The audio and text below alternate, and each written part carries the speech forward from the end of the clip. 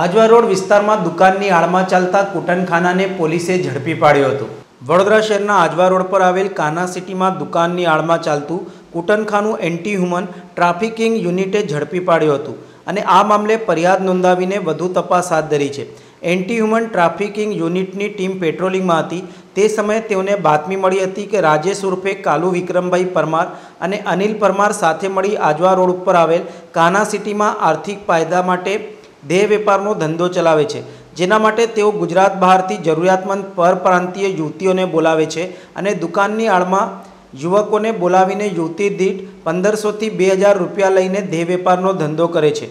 જેના પગલે anti human trafficking યુનિટની ટીમે કાના સિટીમાં રેડ કરી હતી, જ્યાં સ્થળ પરથી એક પીડિત યુવતી મળી આવી હતી અને પોલીસે તેને મુક્ત કરાવી હતી.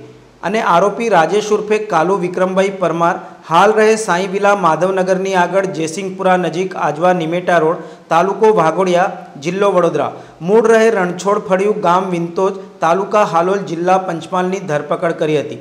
પોલીસે આરોપી અનિલ પરમાર રહે બોડેલી જિલ્લા છોટાઉદેપુરને વોન્ટેડ જાહેર કર્યો હતો અને આ મામલે બાપોદ પોલીસ સ્ટેશનમાં the immoral trafficking prevention act સને ઓગણીસો છપ્પનની કલમ ત્રણ ચાર પાંચ સાત અને ઇન્ડિયન પિનલ કોડ કલમ એકસો ચૌદ મુજબની ફરિયાદ દાખલ કરાવી છે.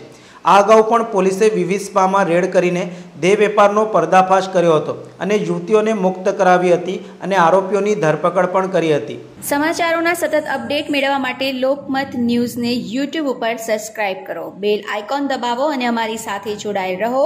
ફેસબુક, ઇન્સ્ટાગ્રામ અને ટ્વિટર ઉપર.